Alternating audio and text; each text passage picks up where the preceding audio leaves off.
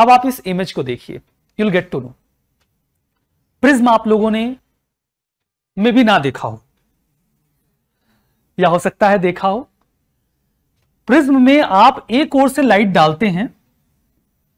वो प्रिज्म के अंदर जाता है और फिर सेवन कलर्स में डिवाइड होके बाहर निकलता है। ऐसा होता है ना विबग्योर में? डिवाइड होके बाहर आ जाता है। जो लाइट आप प्रिज्म में डाल रहे हैं यह है ट्रेडिशनल सोसाइटी।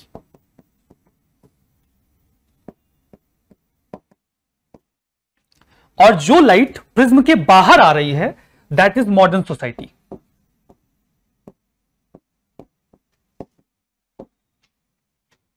लेकिन आप प्रिज्म के अंदर जाओ, आपको जो लाइट जा रही है वो भी मिलेगी और जो लाइट बाहर निकल रही है वो भी मिलेगी।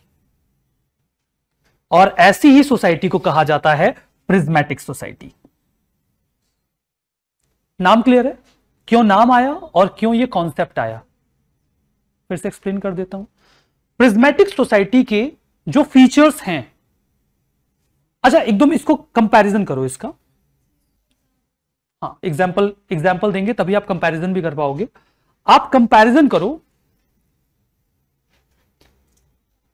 इंडिया का उस समय, जब इंडिया 1800 के समय में था, हमारी सोसाइटी में बहुत सारी इल प्रैक्टिसेस थी। या थोड़ा और पीछे जाना चाहो तो पंद्रहवीं, सोलहवीं शताब्दी में चले जाओ। हम साइंस को बिल्कुल एक्नॉलेज नहीं करते थे। रिलीजन आवश्यकता से अधिक डोमिनेंट था। और उसके बाद भारत को आपने उस समय इवेलुएट कर लिया। भारत को अभी इवेलुएट मत करो, क्योंकि एक्चुअली में हम प्रिज्मेटिक सोसाइटी हैं। हम अभी प्रिज्म के बाहर निकले ही नहीं है। We are not out of the prism because हम बात कर रहे हैं पोस्ट कोलोनियल स्टेट की, और पोस्ट कोलोनियल स्टेट वो स्टेट है जो प्रिज्म के अंदर है। वो प्रिज्म के बाहर नहीं निकल पाए हैं। प्रिज्म के बाहर कौन निकल गया? यूएसए जर्मनी ऑस्ट्रेलिया यूके ये प्रिज्म के बाहर निकल गए।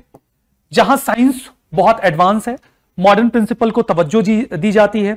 जो रिलीजियस एलिमेंट हैं उनसे सोसाइटी बहुत ज़्यादा स्टिक नहीं करती है। रैशनैलिटी या लॉजिक डोमिनेट करता है। ये वो सोसाइटी है। हमारे यहाँ क्या होता है? हम बीच में हैं। हमने मंगलयान पे ऑर्बिटर भेज दिया। मंगल पे मतलब मार्स पे ऑर्बिटर भेज दिया। और अभी रास्ते में से जा रहे हो, बिल्ली रास्ता काट दे तो रुक जाते हैं। दोनों है कि नहीं है? दोनों हैं। हम साइंटिफिक वैल्यूज़ को बहुत इंपॉर्टेंस देते हैं। एजुकेशन इंपावर्ड है लॉजिक को तवज्जो दी जाती है मॉडर्निटी के प्रिंसिपल ऑप्ट करते हैं, जो बदलाव आ रहे हैं, उन बदलावों को चेंजेस को एक्नॉलेज करते हैं, लेकिन जो ट्रेडिशनल एलिमेंट्स हैं, वो हमने अभी छोड़े नहीं है। नारियल फोड़ते हैं।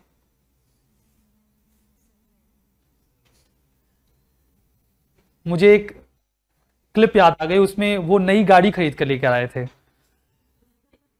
और उसके शीशे पर नारियल फोड़ दिया उन्होंने। तो ये है ट्रेडिशनल सोसाइटी। मतलब मॉडर्निटी क्या है कि कार लेकर आए हैं। मॉडर्निटी क्या है कि कार लेकर आए हैं। एक व्हीकल जो दुनिया में चल रही है, वो उन्हें खरीदनी चाहिए। तो उन्होंने खरीदी। लेकिन अब नारियल फोड़ना भी तो बनता है ना। तो शीशे पे नारियल फोड़ दिया। तो ये प्रिज्मेटिक सोसाइटी है। हम बीच में हैं अभी। तो जो पोस्ट कॉलोनियल स्टेट्स हैं, उनका एक इंपॉर्टेंट फीचर है कि वो प्रिज्मेटिक सोसाइटी को पोर्ट्रे करते हैं। मतलब वो कंट्रीज़ अभी प्रिज्म में है। प्रिज्म के भीतर है। समझ में आ गया? मतलब हम प्रिज्मेटिक सोसाइटी मतलब हम ट्रेडिशनल सोसाइटी नहीं है। ट्रेडिशनल सोसाइटी इंडिया आज से 300 साल पहले था। और अभी हम मॉडर्न सोसाइटी भी नहीं है, क्योंकि मॉडर्न सोसाइटीज वेस्टर्न कंट्रीज़ हैं। हम अभी बीच में हैं मिडिल में। हम प्रिज्म के भीतर हैं। तो इसीलिए दोनों के फीचर्स यहाँ मिलेंगे। ब्लेंड ऑफ़ बोथ यही डेफिनेशन ही है। Blend of traditionalism and modernism इसी का ब्लेंड है प्रिज्मेटिक सोसाइटी जो प्रिज्म के भीतर है। आसान है ना? समझ में आ गया? क्लियर हो गया? अब प्रिज्मेटिक सोसाइटी के कुछ फीचर्स होते हैं। अगर आपसे कह दिया जाए कि प्रिज्मेटिक सोसाइटी को एक्सप्लेन करिए तो आपको उसके फीचर्स के बारे में पता होना चाहिए। हुँ? बहुत सारी जगहों में अफ़गानिस्तान। इन्होंने बढ़िया एग्जांपल दिया। अफ़गानिस्तान या फिर मान लीजिए कुछ, खैर वो भी अब ब्लेंड ही हो गए हैं। जहाँ पे बहुत ज़्यादा ट्रेडिशनल वैल्यूज़ को स्टिक करके रखा जाए तो ता, तालिबान को आप ले सकते हो एग्ज़ाम्पल में। पहली बात प्रिज्मेटिक सोसाइटी में आपको फॉर्मलिज्म मिलता है। फॉर्मलिज्म मैंने अभी आपको बताया था। क्या है फॉर्मलिज्म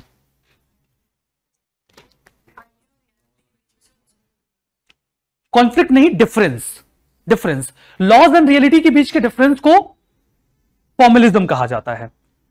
फॉर्मलिज्म में ये जो वर्ड है फॉर्मल ये फॉर्मल लॉज को रिप्रेजेंट करता है। फॉर्मल लॉज जो स्टेट के द्वारा बनाए जाते हैं।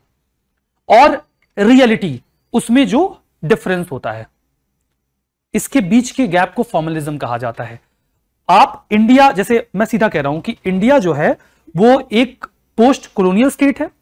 इस रेफरेंस में इंडिया एक प्रिज्मेटिक सोसाइटी को रिप्रेजेंट करता है। प्रिज्मेटिक सोसाइटी के अगर ये फीचर्स हैं तो ये इंडिया में भी मिलेंगे।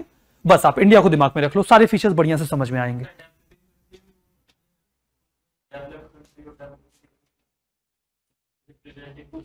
एनालाइज करोगे, कोई डिफरेंस मिल भी सकता है, नहीं भी मिल सकता है। डेवलपिंग कंट्रीज़ आप कह भी सकते हो, लेकिन मत कहो। क्यों कहोगे डेवलपिंग कंट्री दोनों टर्म्स अलग अलग हैं।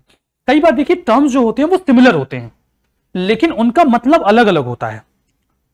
हम उन्हें साइनोनिमसली यूज़ नहीं कर सकते। जैसे कई बार हम डेवलपिंग कंट्रीज़ को थर्ड वर्ल्ड कंट्री भी बोल देते हैं। पेरीफेरी भी बोलते पेरीफेरी तो डिफरेंट कॉन्सेप्ट है बट उसका इस्तेमाल अलग रेफरेंस में किया जाता है। थर्ड वर्ल्ड कंट्री का क्या मतलब होता है? नहीं। हाँ फ़र्स्ट वर्ल्ड कौन था? Western countries led by USA second world कौन था? Second block led by USSR और थर्ड कौन था? नैम जो दोनों में नहीं गए। तो थर्ड वर्ल्ड का मतलब किसी भी तरीके से डेवलपिंग कंट्री नहीं है। और ना ही अंडर डेवलप्ड कंट्री है बस वो कंट्रीज़ हैं जो दो ब्लॉक्स में नहीं गई। अब ये बात दूसरी है कि इन कंट्रीज़ को मेजरली देखोगे तो डेवलपिंग और अंडर डेवलप्ड मिलेंगे। तो लोग इन दोनों टर्म्स को सैनोनिमसली यूज़ कर लेते हैं बट दोनों सैनोनिमस नहीं है। दोनों के बीच का अंतर है। हम यहाँ कह रहे हैं कि फॉर्मल रूल्स एंड रेगुलेशंस में पाकिस्तान सेकेंड वर्ल्ड कंट्री है। Exactly exactly. अगर आप इवेल्युएशन में लोगे तो आपको पाकिस्तान थर्ड वर्ल्ड में नहीं मिलेगा। लेकिन डेवलप नहीं है वो। तो दोनों का सीटो सेंटो का भी था वो। कंफ्यूज था। ठीक है। तो देखिए, यहाँ पे थ्योरी और प्रैक्टिस के बीच में अंतर मिलेगा आपको। और मैंने आपको क्या कहा? कि हम पोस्ट कोलोनियल स्टेट की बात कर रहे हैं। Post colonial state prismatic society को रिप्रेजेंट करता है। प्रिज्मेटिक सोसाइटी में ट्रेडिशनलिज्म और मॉडर्निटी का ब्लेंड होता है। इंडिया एक पोस्ट कॉलोनियल स्टेट है। मतलब इंडिया भी प्रिज्मेटिक सोसाइटी को रिप्रेजेंट करता है। मतलब हम जितने भी फीचर्स बता रहे हैं, वो इंडिया में भी मिलेंगे। पहला वाला पकड़िए formalism formal rules and regulation and practice में डिफरेंस होता है इन कंट्रीज़ में। रूल्स कुछ और होते हैं ग्राउंड पे कुछ और होता है। ये आपको इंडिया में मिलता है कि नहीं? डॉरी प्रोहिबिशन एक्ट बन गया है कि नहीं बन गया है? क्या डॉरी नहीं ली जाती है इंडिया में? या नहीं दी जाती है? एकदम बढ़िया से ली दी जाती है। रेट्स फिक्स होते हैं। डॉक्टर का इतना इंजीनियर का इतना, और आई का जितना वो मांग ले। हाँ? तो सबके रेट्स फिक्स हैं। तो डॉरी खत्म नहीं हुई है। इट्स नॉट एंडेड नाउ इस पे बड़ी डिबेट होती है। हाँ मतलब पार्ट है। ये गिफ्ट बोलते हैं वो लोग उसको। और मांगते भी नहीं है। मतलब डाउरी मांगते नहीं है। बस कहते हैं कि हाँ जो आप दे सके उतना दे दीजिएगा। हमने अपनी बिटिया की शादी में इतना दिया था। ये उसके बाद ऐड हो जाता है। तो मतलब ये एक मिनिमम लैंडमार्क है। इसके ऊपर आपकी जो मर्ज़ी। वो वो मिनिमम होता है। तो कहने का मतलब कि ऐसे बहुत सारे रूल्स एंड रेगुलेशन हैं। जो आपको थ्योरी में मिलेंगे प्रैक्टिस में नहीं मिलेंगे। और ये हर प्रिज्मेटिक सोसाइटी का फीचर है इंक्लूडिंग इंडिया इंडिया में भी आपको मिलेगा। दूसरा पॉली कम्युनलिज्म पॉली का मतलब होता है एक से ज़्यादा। मतलब यहाँ पर एक से ज़्यादा कम्युनिटीज पाई जाती हैं और ये एक दूसरे के ऊपर ट्रस्ट नहीं करती। यह हर प्रिज्मेटिक सोसाइटी का फीचर है। क्या ऐसा भारत में नहीं है? है? भारत एक प्रिज्मेटिक सोसाइटी है। यहाँ पे बहुत सारी कम्युनिटीज हैं जो एक दूसरे पर ट्रस्ट नहीं करती हैं। तीसरा हाँ। हर प्रिज्मेटिक सोसाइटी में। किसमें पढ़ा था? पोस्ट बिहेवियरिज्म में हमने फॉर्मेट जो फॉर्मलिज्म था उसे पढ़ा था आप वही रिकॉल कर रहे हो? बहुत देर से गंभीर मुद्रा में। किसी रेफरेंस में हमने देखा था मे बी वो कीवर्ड आया था। जस्ट कीवर्ड आया था, उसकी कोई डिटेल नहीं थी वहाँ पर। मैंने आपको ऐसी डिटेल में समझा दिया था। मतलब वो कीवर्ड वहाँ पर आया था और मैंने उसे ऐसे ही आपको एक्सप्लेन कर दिया था फॉर्मलिज्म को। हाँ और मैंने ये बोला भी था कि फॉर्मलिज्म मैं आपको बाद में अच्छे से एक्सप्लेन करूँगा, उसमें मैंने आपको केवल ऐसे ही मेयरली मीनिंग बता दी थी। तो फॉर्मलिज्म इंडिया में है, ठीक है? तीसरा पॉइंट है पॉली नॉमेटिविज्म और इसका मतलब यह है कि यहाँ पे कई सारे नॉर्म्स एग्जिस्ट करते हैं। प्रिज्मेटिक सोसाइटी में। वो कई बार रैशनल होते हैं और कई बार इरेशनल होते हैं, लेकिन किसके रेस्पेक्ट में? अब देखिए रैशनल और इरेशनल बड़ा मतलब विवादित मुद्दा है। इट्स वेरी डिबेटेबल कि what do you mean by rational what do you mean by irrational जो मेरे लिए इरेशनल है, वो आपके लिए रैशनल हो सकता है। जैसे मैं कहता हूँ कि अगर बिल्ली रास्ता काट दे तो गुजरने में कोई बुराई नहीं है। अगर आप नहीं गुजरते हो तो ये इरेशनल है। आपको लगता है कि मैं तो एक बार वहाँ से मतलब आपने देखा होगा कि कुछ लोग वहाँ से गुजरे और गुजर गए? तो आपके लिए तो वो हाईली रेशनल है। तो अब रैशनल और इरेशनल इसे आप कैसे डिफाइन करोगे? अब उसमें कुछ डिफाइनिंग लाइन होनी चाहिए। With respect to law and policy making वो चीज़ें लॉ को फॉलो करती हुई नहीं मिलेंगी। जैसे डॉरी जो है वो ली जा रही है। अब ये लॉ के रेस्पेक्ट में इरेशनल है। लीगल भी नहीं है। और रैशनल भी नहीं है। आप डॉरी नहीं ले सकते। नहीं लेना चाहिए आपको। लेना भी नहीं चाहिए और ले भी नहीं सकते। तो लॉ के रेस्पेक्ट में यहाँ पर आपको रेशनल और इरेशनल दोनों तरीके के नॉर्म्स मिलेंगे। ये प्रिज्मेटिक सोसाइटी का फीचर है। इंडिया में बहुत सारे मिल जाएँगे। चौथा फंक्शनल ओवरलैपिंग किसका क्या काम है? क्लियर नहीं है। ये आपको प्रिज्मेटिक सोसाइटी में मिलेगा। किसका क्या काम है? ये क्लियर नहीं है। फंक्शनल ओवरलैपिंग एक ही काम एक से ज़्यादा ऑर्गेनाइजेशन कर रहे हैं।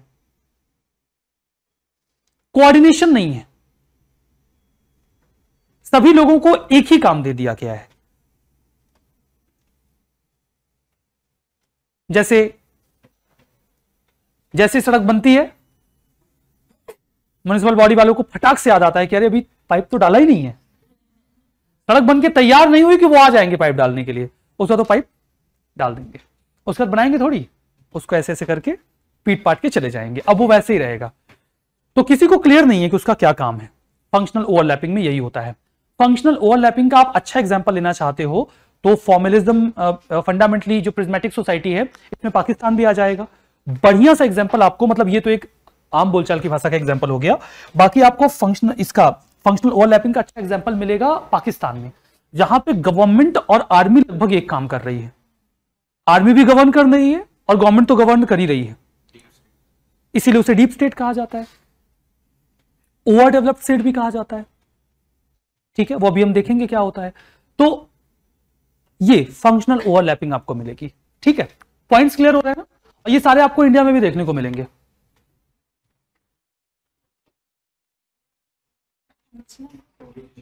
मिनट लेवल पे जाओ थोड़ा सा। सेपरेशन ऑफ़ पावर है लूज है। लूज सेपरेशन ऑफ़ पावर है। तो मतलब लॉ मेकिंग का काम किसका है? लेजिस्लेचर का है। एग्जीक्यूटिव नहीं बनाती क्या लॉ बनाती है ना? ऑर्डिनेंस आप जानते हो?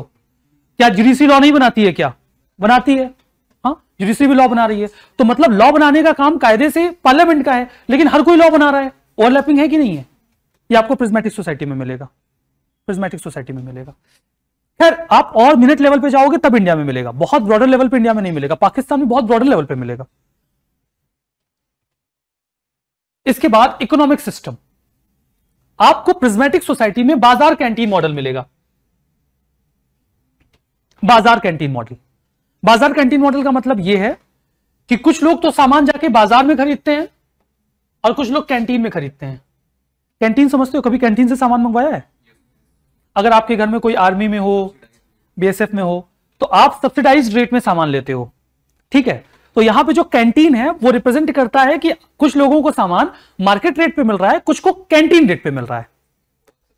बहुत सस्ता टैक्सेस वगैरह नहीं लगते। तो जिसके पास भी मतलब ये सुविधा होती है, वो उसका इस्तेमाल करते हैं। खैर, यहाँ पे बाज़ार कैंटीन का मॉडल सिर्फ़ ये नहीं है कि आर्मी पर्सनल को कैंटीन से सामान मिल रहा है तो सस्ता मिल रहा है। आप यहाँ पे सब्सिडाइज रेट पर मिलने वाले सामानों की बात करो ओवरऑल जो सब्सिडीज दी जाती हैं, चाहे वो फार्मर्स को दी जा रही है वर्किंग क्लास को दी जा रही हो, या किसी प्रोडक्ट सब्सिडी दी जा रही हो, ये हो रहा है कि नहीं हो रहा है? आपको हर प्रिज्मेटिक सोसाइटी में मिलेगा। कुछ लोग सामान मार्केट रेट पर खरीदते हैं, कुछ लोगों को ये सब्सिडाइज रेट पर मिलता है। एग्जाम्पलीफिकेशन के उन्होंने उसको कैंटीन कैंटीन डाल दिया है बट यहाँ पे जो सब्सिडीज वगैरह दी जाती है, सरकार की तरफ़, वो भी शामिल है। पीडीएस ऑफकोर्स पीडीएस आप इसमें काउंट कर सकते हो, आयुष्मान भारत इसमें काउंट कर सकते हो। एक व्यक्ति जाएगा हॉस्पिटल में अपने पैसे भरेगा, और कुछ लोग जाएँगे, वो कार्ड दिखा के अपना ट्रीटमेंट ले लेंगे। ठीक है? तो ये ये सारी चीज़ें, ये बाज़ार कैंटीन मॉडल का एग्जांपल है। तो ये फीचर आपको प्रिज्मेटिक सोसाइटी में मिलेगा। छठा एडमिनिस्ट्रेटिव सिस्टम एडमिनिस्ट्रेटिव सिस्टम में आपको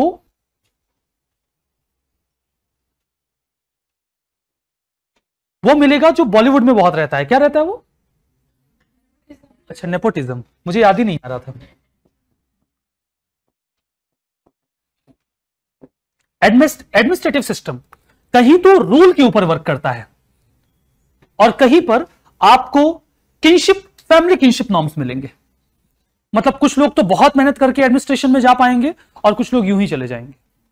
Just because they have influenced they have influence और दे हैव समवन जो उन्हें आसानी से वहाँ एंटर करवा देगा। ये सिस्टम आपको प्रिज्मेटिक सोसाइटी में मिलेगा। इंडिया में है कि नहीं है? है ना? है? जुडिशरी में भी है, ठीक है? एडमिनिस्ट्रेशन में। सातवां अटेनमेंट नॉर्म्स बर्थ अचीवमेंट यह आपको प्रिज्मेटिक सोसाइटी में मिलेगा। कुछ लोग बाई बर्थ एडवांटेज की कंडीशन में रहेंगे और कुछ लोग बाई बर्थ डिसएडवांटेज की कंडीशन में रहेंगे और इक्वलिटी को स्टैब्लिश करने का कोई सॉलिड मैकेनिज्म नहीं होगा। यह आपको प्रिज्मेटिक सोसाइटी में मिलेगा। इंडिया में भी है। हाँ हाँ। आप कहीं और पैदा हुए, आपकी गलती है। कास्ट सिस्टम क्लास सिस्टम मतलब क्लास ये तो बात हो गई क्लास की। अगर आप कास्ट की बात कर लो, सबसे प्रोमिनेंट एग्ज़ाम्पल है। आप किसी सर्टन रेस से बिलोंग करते हो जो उस कंट्री में डोमिनेंट नहीं है तो आप डिसएडवांटेज में हो, ठीक है? किसी एथनिक ग्रुप से बिलोंग करते हो, हम तो overall Asia Africa Latin America सबकी बात कर रहे हैं।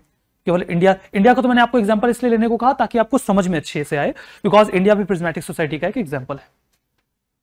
हेट्रोजेनिटी मॉडर्निटी और ट्रेडिशन दोनों का ब्लेंड ये आपको मिलेगा